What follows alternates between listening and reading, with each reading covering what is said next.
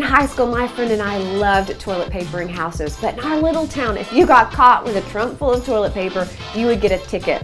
One night we got caught up in a dirt road chase by an angry homeowner. I'm not endorsing this. We finally got away, but we had to ditch that toilet paper. We had to find a way to quickly leave the past behind or it wasn't going to stay in the past.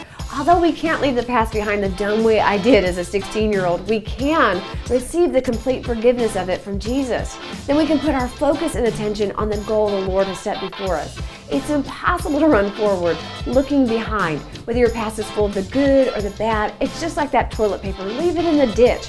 Fill your heart with a vision for the future and take off running with a fresh take on life.